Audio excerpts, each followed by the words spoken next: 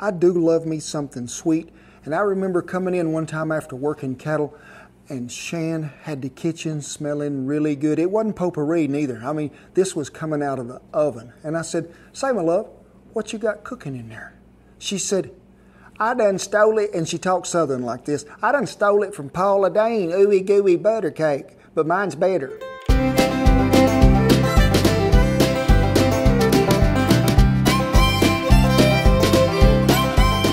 First thing we're going to do is make the crust for this. Helping me in the kitchen today, my good friend Betty, Betty Crocker. You know her. She had some kids. I don't know if y'all know them or not. One of them was named Little Debbie. Yes, it was.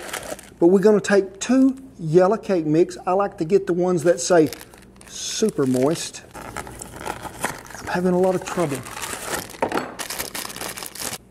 Two, what do y'all call them? What do we call them? You know. Say it to yourself out there in YouTube land. Cackleberry rooster bullet.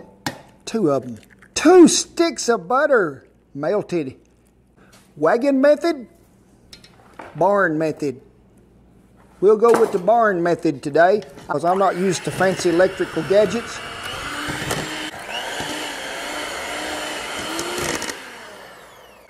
We need to turn that thing off before somebody gets hurt, put it away. Mix this till it's all incorporated well. It's gonna it sort of look like a dough. That's what we're after. And today, being as how we really love you, we're gonna cook it in a 12 inch Dutch oven, but make sure you grease it really well. And we're gonna just dump this in there, pat it out to make us a crust on the bottom.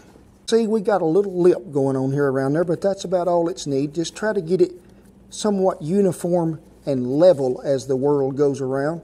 In a conventional oven, you would go ahead and put all the stuff together, fill in it all, and just put it in a conventional oven and bake it. But uh, not today, nope. We're going to cook it the Dutch oven way, and we're going to cook this till it sets up first on the bottom. Let's get her covered up, get it hot, because the quicker it's done, quicker we get to eat it. Say, do I look like that guy on that picture with that woman that's got a pitchfork? Oh, well, never mind. You're probably wondering what I'm doing here in the. You have to flip it the other way. What? Your shovel. Oh. Say, say, folks, I got a question. Y'all seen that picture of them people? No. We're here in the barn, the wind blowing about 40 mile an hour outside, and it's February, and if one of them sparks got out of that tub and took off, we'd burn it plumb to the Canadian line, we would. We built this table a long time back. We're going to get us some of them hardwood lump mesquite coals out there. I'm going to give them a little chopping in here. We're going to go on a tall trivet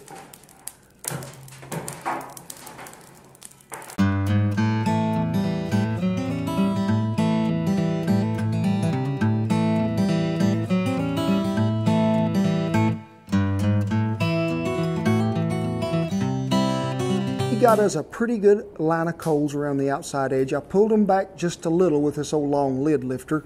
Got a pretty good layer on top. Now I'm on a tall trivet. The wind ain't blowing here in the barn, and you'll be asking yourself, why is he on that tall trivet in the barn? That metal is reflecting a whole lot of heat back off that to that Dutch oven. So I'm going to slow it down just a little. That tall trivet will do the trick.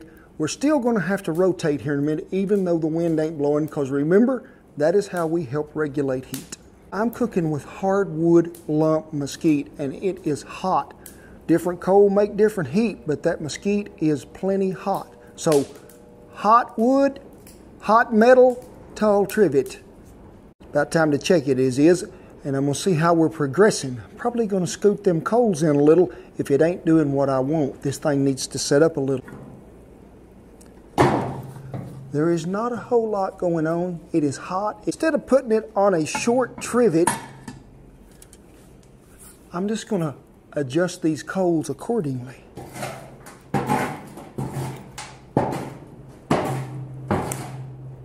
You've seen me push the coals in, get her a little closer around that Dutch oven, load the top up just a little more. I'm speeding the process up a tad. It's like turning the knob up on the oven, but it ain't got no knob. We're fixing to take it off that heater is because it's firmed up to the touch just a tad is what I was after, sort of like a sponge, but also it's pulling away from the sides of that Dutch oven.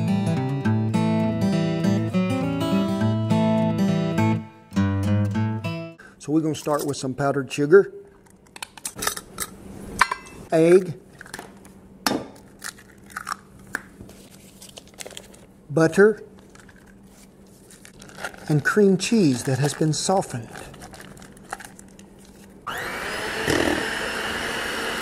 Well, that whipped up nicely, it did, so we're going to add some vanilla. And a package of some crushed up candy bar. Going to fold it in. I think is the correct terminology. Let's just spread her out on top here. This is already looking good enough. I wouldn't even have to cook this to eat it, I promise you. Let's get it back on the fire and get it to going. It's nearly time for dessert going right back on that same heat we had. We need to do that here. I ain't waving at you, it's the five second check. Can you get it this far away and hold it more than five seconds? Now I can there, but my hand's been burned a lot.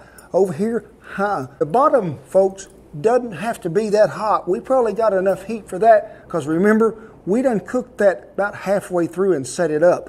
We are going to have to have some more heat on top Remember, the bottom was nearly already cooked, so we got probably a medium low heat on there. I turned the knob to medium low, so that's about what it is because everything we're really trying to get to cook at this point is what we put on top. We got to give it some more heat. That's why I added the heat to it. Well, we have been rotating. We have bottom one way, lid the other. That way we make sure we're trying to even out some heat. Let's check this rascal and see if it's firming up a little. Ooh, looky there, folks, what's been happening and you can see this outside edge is trying to set up. So top of this is still a little gooey, as you can see, but it's beginning to set just a tad.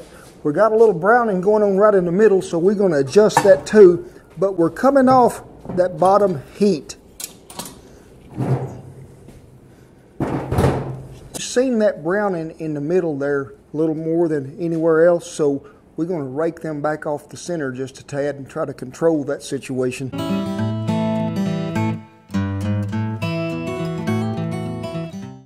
Let's take a gander. Oh, that's pretty springy to the touch, and that's what I'm after. That's going to go ahead and set up. Still a little bit gooey, but remember the name? Ooey, gooey. That's what we're after. And it's a little springy to the touch, so I'm thinking I'm going to call it I am. Folks, you got to let that cool, because as it cools, it's going to set up, or as Shan would call it, congeal, which means to get thicker up on resting time. I looked it up on the Wikipedia, I did. Now, the reason we want to show you this is because it's a layered dish, and them do cook a little different in a Dutch oven, I promise you. We cook this bottom, and we let that crust set up sort of firm to the touch, and then smeared a bunch of gooey goodness all over the top of it. When you have that much moisture over there and you've got a second layer, that's why you want to cook this deal twice. Saying you're going to make like some cherry almond bars or some kind of cherry fruit bars that you're going to have a bottom crust and a really moist, fruity topping, something like that, cook it in two rounds. That way you ain't as apt to burn something and it's going to give that bottom crust time to set up and then you put that other one on here and you can cook it to finish the deal off. It's done. And when you usually cook something that's sweet and got a lot of butter in it, people show up. I showed up at somebody else's place. So we're gonna cut it, brother. You want to? Oh, yeah. And see what it what it what it looks like in here. And it I think it's actually going to work. I don't know really how you're supposed to cut this. The first piece is always. But we have to check the bottom. Ooh, got a little brown. Got a little brown there. You uh-huh. can see it cuts good, it sets up. That's why we cook this crust first on the bottom to let it go ahead and set up and then put the topping on it to finish it off. I'm not going to eat them, I'm going to see if they fall out first. That's good. It's so good. oh my gosh. It's one of my more mm. favorite Got desserts. 12 sticks of butter in it. Mason jar yes. full of milk. Look, fall out from the sugar rush. Hmm. Oh, the mm. Well, buttery. We thank y'all for stopping by over here at Heath and Cassie's house, and you might recognize these people. They are the proud parents of the pickle cooking champion group. And I'm in the mirror. We do appreciate y'all. We hope you like a sweet treat. Oh. God bless you each and every one, and hit that subscribe button. See y'all down the road.